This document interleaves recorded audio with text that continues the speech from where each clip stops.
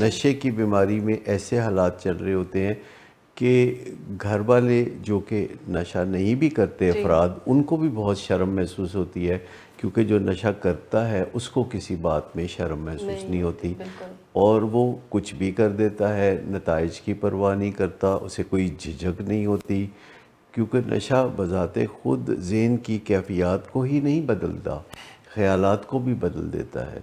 और जो हिचकिचाहट कभी होती भी है किसी गलत काम में तो नशा उसको भी ख़ुद से दूर करता है। तो पाकिस्तान में इस किस्म की एजुकेशन बहुत अच्छी मैसर है।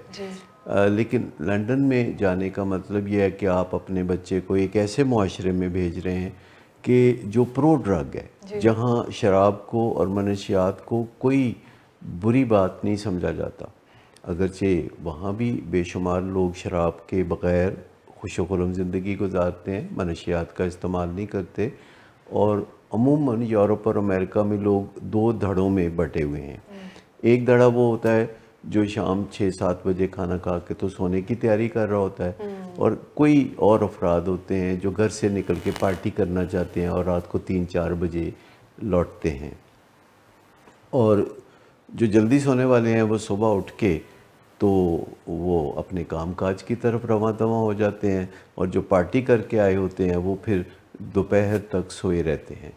तो पाकिस्तान में अगरचे मनशियात का इस्तेमाल बहुत आम है लोग शराब भी पीते हैं हम्म। लेकिन मुआशरा प्रो ड्रग नहीं है।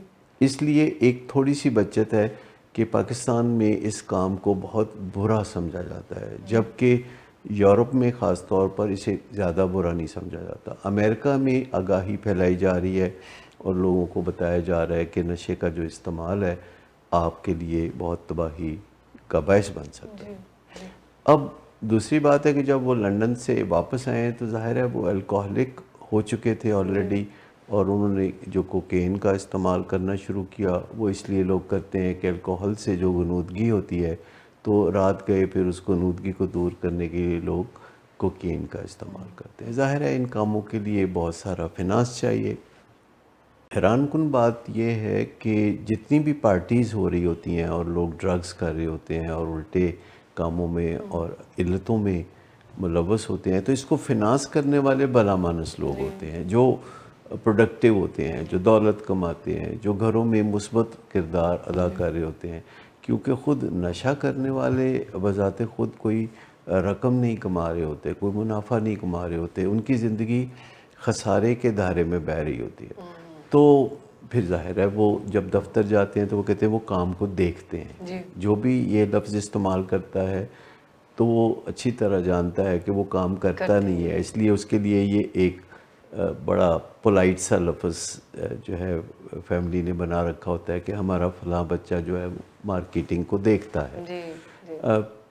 फिर इससे भी जब उनकी तमन्ना पूरी नहीं होती या पैसे की तलब पूरी नहीं होती तो फिर वो बेझिझक हो जाते हैं। नशा उनको चोरी चुकारी पे भी मायल करता है। फिर वो किसी को किसी से उधार ले लेना उधार जब वापस ना करना तो फिर उनको चेक दे देना जो कि बाउंस हो अच्छा। जाते हैं जिससे कि बहुत बड़ा फसाद पैदा होता है और वालदेन फिर जैसे तैसे करके पुलिस से मिल मिला के कुछ पैसे अदा करके वो जान छुड़ाते हैं और फिर वालदेन इस पे कोई बुरा भला भी कहते हैं। ऐसे हालात में वालदेन का ख्याल ये होता है कि इसको कभी ना कभी ख्याल ज़रूर आएगा।